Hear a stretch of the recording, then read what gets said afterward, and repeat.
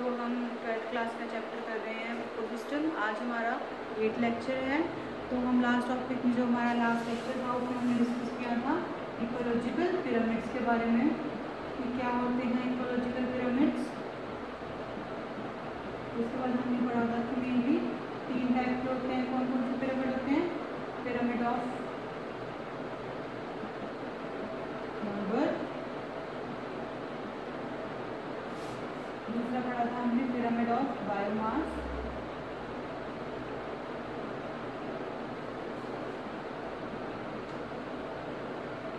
और तीसरा पढ़ा था हमने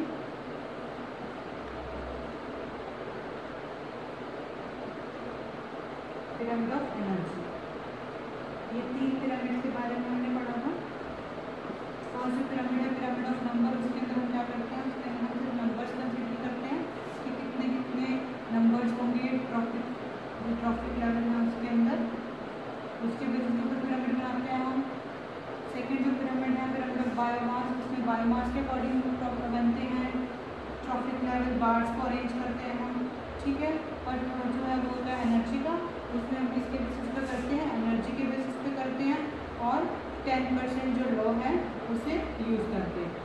ठीक है? अब हम पढ़ते हैं कुछ पॉइंट्स कि अगर हमें कैलकुलेट करना है या फिर स्टडी करना है तो कौन कौन से पॉइंट्स का ध्यान रखना पड़ेगा? किसको कैलकुलेट और स्टडी करने के लिए? इन पिरामिड्स को स्टडी या कैलकुलेट करने के लिए जिन पॉइंट्स का ध्यान रखना पड़ेगा, उन्हें देखते हैं। पॉइंट्स बी तो फ़र्स्ट पॉइंट क्या है?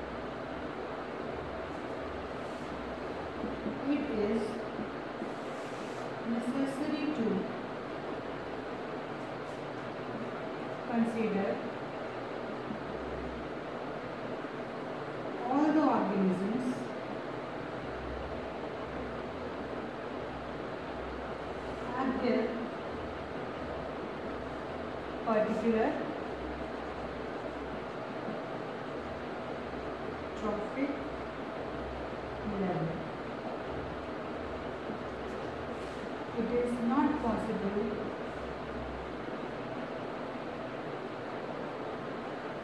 To consider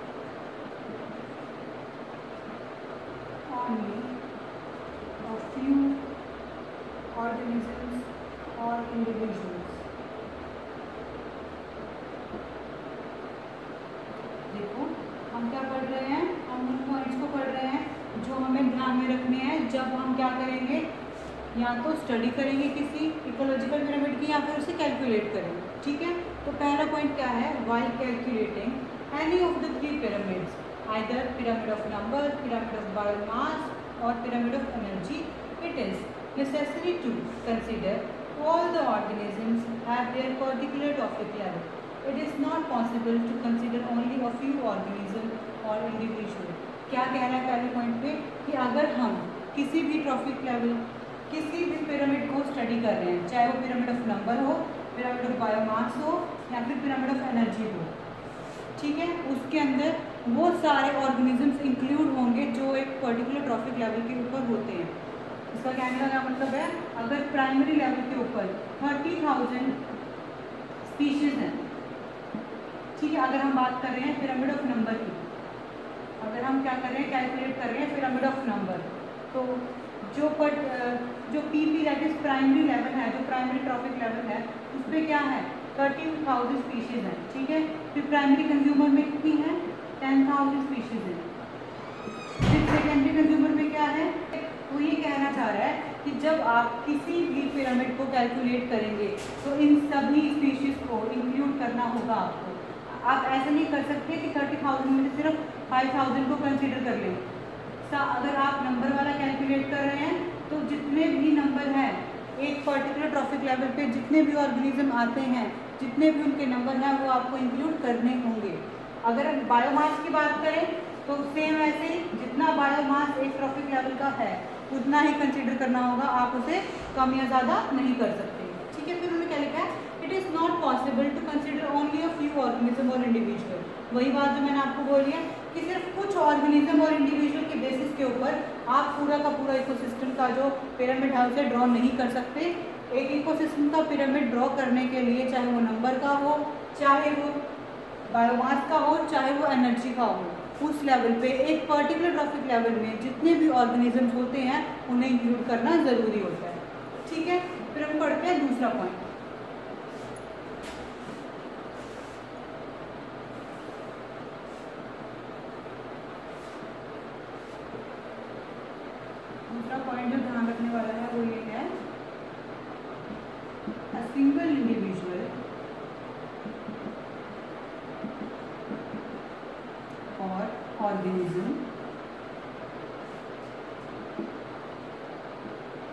can be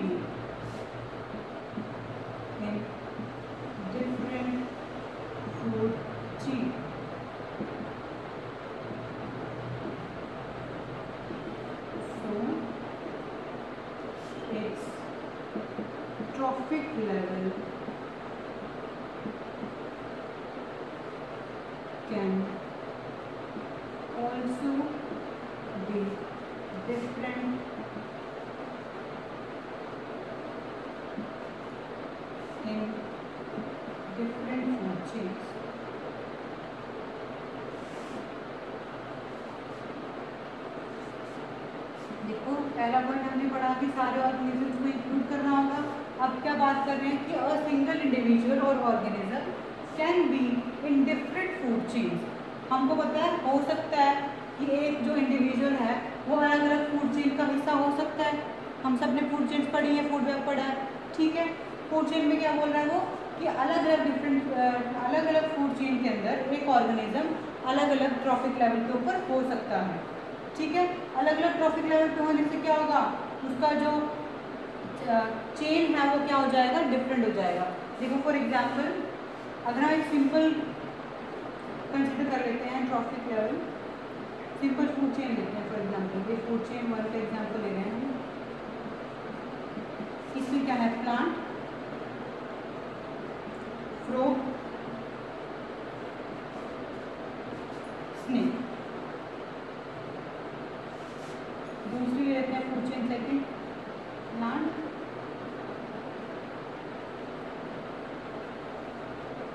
dragonfly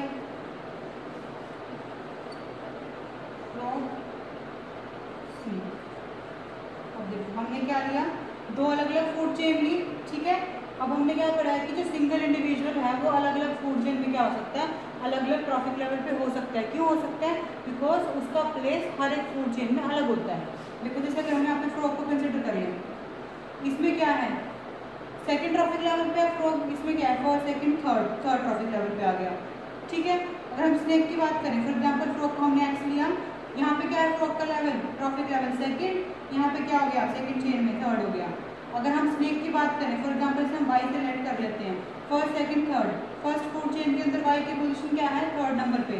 third trophic level है उसका मतलब। और सेकंड फ़ूड चेन में क्या होगा first second third and fourth यहाँ पे वाई की वैल्यू क्या आ गई? फोर्थ यानी कि फोर्थ ट्रॉफिक लेवल तो इसे प्रूव हो गया। क्या प्रूव हो गया? कि एक सिंगल जो इंडिविजुअल है, वो एक फ़ूड चेन में अलग अलग ट्रॉफिक लेवल शो कर सकता है, क्योंकि वो अलग अलग फ़ूड चेन को ऑक्यूपाई करता है। ठीक है? फिर है third point the pyramid of number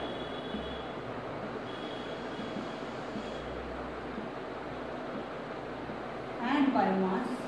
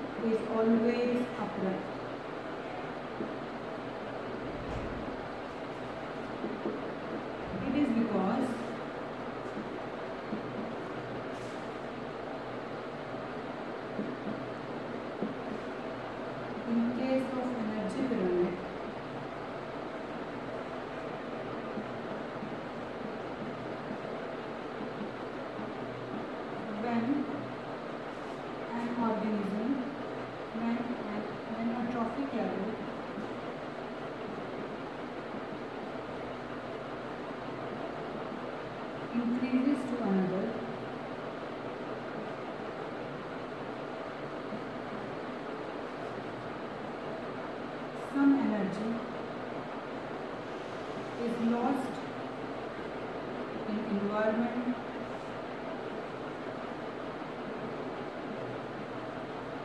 in form of heat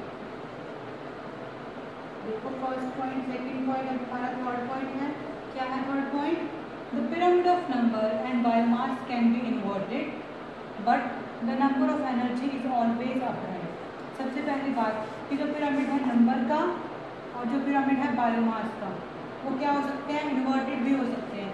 जब मैंने आपको पढ़ाया था number of pyramid sorry pyramid of number in pyramid of biomass मैंने तब आपको दोनों केस बताए थे कि अपराइट भी हो सकते हैं और इन्वर्टेड भी हो सकते हैं। अपराइट का मतलब इनकी शेप कैसी होगी? ऐसी। और इन्वर्टेड का मतलब शेप कैसी होगी? ऐसी। अब मैंने एग्ज़ाम्पल के साथ बताया था कि पिरामिड ऑफ़ नंबर अपराइट कब होगा और इन पिरामिड ऑफ़ नंबर इन्वर्टेड कब होगा और पिरामिड ऑफ़ बायोमास कब अपराइट होगा और कब इन्वर्टेड होगा। ठीक है तो ये बात हम प्रूफ पहले ही कर चुके हैं कि जो पिरामिड ऑफ़ नंबर है और पिरामिड ऑफ़ बायोमास है, वो इन्वर्टेड भी हो सकता है। ठीक है, लेकिन पिरामिड ऑफ़ जो एनर्जी है, वो हमेशा क्या होगा? अपराइट हमेशा ऊपर की तरफ़ ही होगा। ऐसा क्यों होगा देखो? It is because in case of energy pyramid energy pyramid के केस में, when a level level to to some energy is lost in environment in form of heat, कि जब जो एनर्जी पिरामिड है, उसके ट्रॉफिक लेवल बढ़ते हैं। ठीक है? For example trophic level one से जब ट्रॉफिक लेवल टू में जा रहा है एनर्जी जो एनर्जी जब एक ट्रॉफिक लेवल से दूसरे ट्रॉफिक लेवल में जा रही है तो कुछ एनर्जी कहाँ? इन्वायरमेंट में लॉस हो जाती है। किसके फॉर्म में? हीट की फॉर्म में। जब फ़र्स्ट ट्रॉफिक लेवल से सेकेंड ट्रॉफिक लेवल में जा रही है तो एनर्जी क्या हो रही है? इन्वायरमेंट में हीट की फॉर्म में रिलीज़ हो रही है ठीक है? इन्वायरमेंट की फॉर्म में रिलीज़ होने से क्या हो गया? एनर्जी कम होती जा रही है। ऊपर से हमने ये भी पढ़ा है कि कौन सा लॉ फॉलो करता है? टेन परसेंट लॉ फॉलो करता है। कौन सा आ, कौन सा पिरामिड फॉलो कर रहा है टेन परसेंट लॉ एनर्जी वाला पिरामिड तो क्या हो रहा है? फ़र्स्ट ट्रॉफिक लेवल से सेकेंड ट्रॉफिक लेवल तक सिर्फ़ और सिर्फ़ टेन परसेंट एनर्जी ही पहुँच पाती है। तो इसलिए वो एनर्जी वापस नहीं जा सकती, वो सिर्फ़ एक ही जगह पे फ्लो करती है, ठीक है? तीन पॉइंट पढ़ लिए हम पढ़ते हैं हमारा चौथा point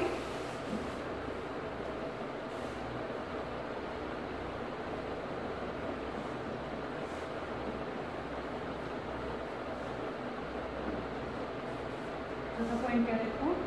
Pyramid always takes food chains into consideration.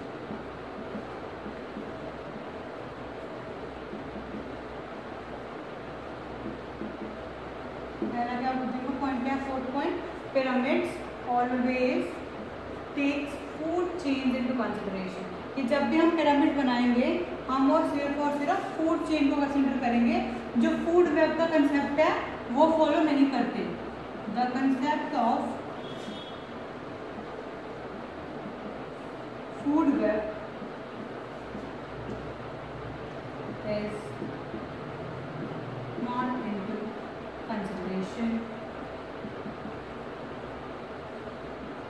in case of ecological pyramids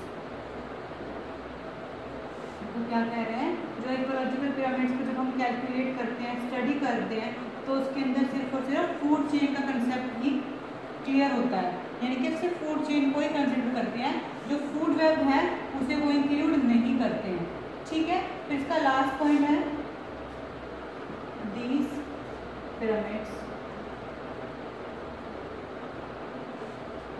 do not have decomposers at any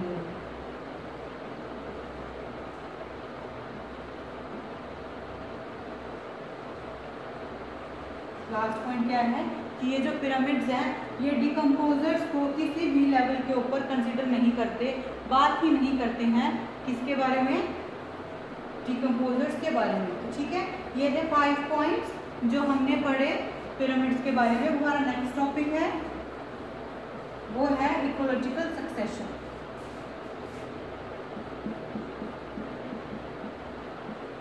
ecological succession इसके अंदर हम कुछ डेफिनेशन पढ़ेंगे पहले डेफिनेशन है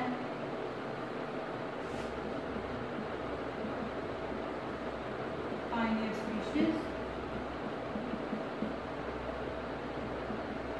फिर है pioneer community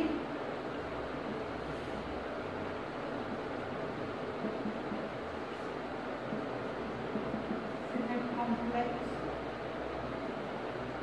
climax community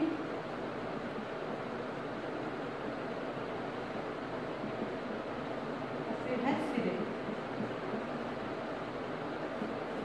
एक बार हम डेफिनेशन देख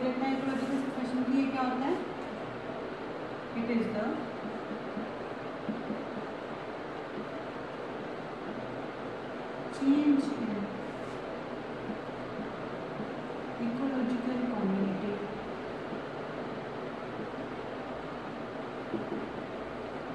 From one species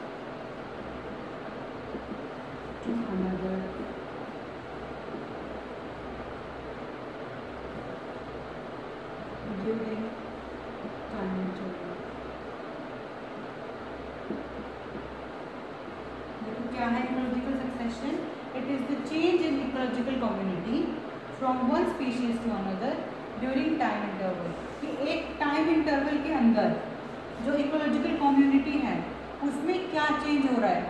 क्या इकोलॉजिकल सक्सेशन एक इकोलॉजिकल कम्युनिटी के अंदर, किसी टाइम इंटरवल के अंदर क्या चेंज हो रहा है? किसके अंदर? स्पीशीज के अंदर प्लांट स्पीशीज के अंदर, एक स्पीशीज से नेक्स्ट में, ठीक है? फॉर एग्ज़ाम्पल क्या बात हो रही है कि टाइम इंटरवल के अंदर एक इकोलॉजिकल कम्युनिटी के अंदर।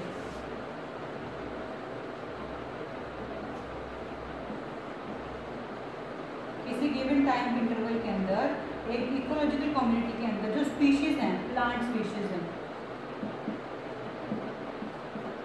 उसमें क्या चेंजेस आ रही हैं? उसे बोलते हैं इकोलॉजिकल सक्सेशन ठीक है? अब वो टाइम इंटरवल है, वो क्या है? कितना हो सकता है? या कितना होना चाहिए वो क्या है time interval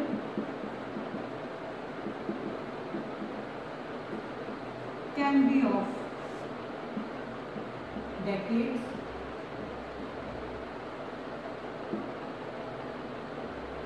or billions of years. जो ये टाइम इंटरवल है कुछ सालों का डेकेड्स कुछ दशकों का भी हो सकता है, या फिर बिलियंस ऑफ़ ईयर्स लाखों साल भी लग सकते हैं इस इकोलॉजिकल सक्सेशन को कंप्लीट होने में। किसके ऊपर डिपेंड करेगा ecological succession depending on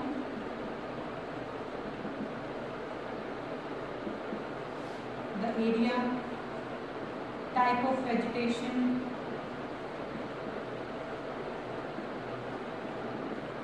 physical factors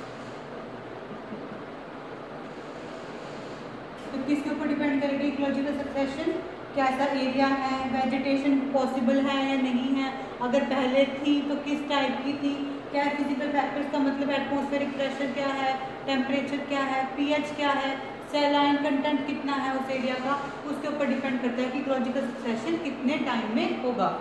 ठीक है? और जो स्पीशीज है, उसके अंदर जो चेंजेस आएँगे, वो कैसे आएँगे? The change in the species will be according to the changes in environment. कि जैसे जैसे इन्वायरमेंट में चेंजेस आएँगे, वैसे वैसे स्पीशीज क्या करेंगी? अपने आप को अडेप्ट करेंगी उन चेंजेस के लिए। ठीक है? तो अब जो हमारे ये डेफिनेशन है पाइनियर स्पीशीज पानी कम्युनिटी क्लाइमेक्स कम्युनिटी और सेरे ये चारों हम अपने नेक्स्ट लेक्चर में कंटिन्यू करते हैं।